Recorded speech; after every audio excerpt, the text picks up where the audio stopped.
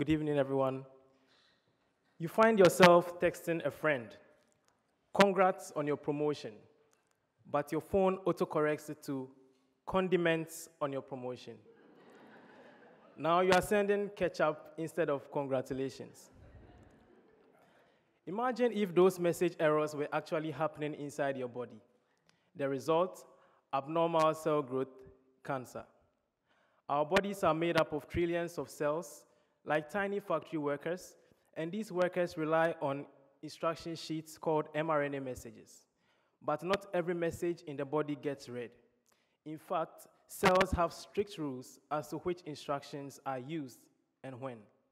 For my dissertation research, I zoomed in on the moment where these decisions are made at the molecular level, a step called translation initiation. Think of it as the factory's front desk deciding which instructions get handed out. Cancer has figured out a way to sneak past that front desk and deliver rogue messages. I studied two key accomplices, specialized proteins that are involved in this process. I made real human mRNAs linked to ovarian, pancreatic, and breast cancer, just to name a few, and recreated their interactions with these proteins in the lab. To measure these interactions, I use a sensitive technique called fluorescence anisotropy. So uh, picture this, uh, picture attaching a tiny flashlight to this thread-like mRNA structure and watching how it spins when proteins bind to it. The more binding that happens, the more the light's movement changes. It's like watching a dance between molecules. With numerous trials, I fed the data into special computer programs that allowed me to quantitatively measure how strongly and, specific, and specifically these proteins were being recruited. What I discovered for the very first time is that these proteins aren't just floating about randomly. They are recruited at specific regions on cancer-linked mRNAs, helping to turn them on.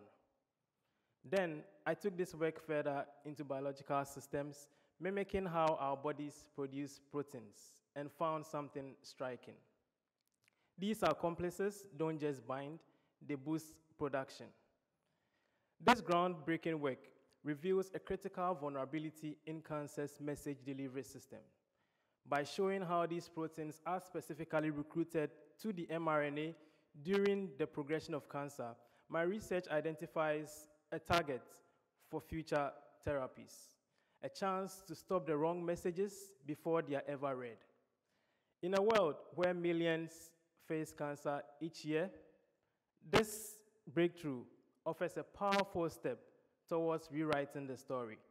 First, with hope, second, with healing, and, and last of all, with precision. Thank you.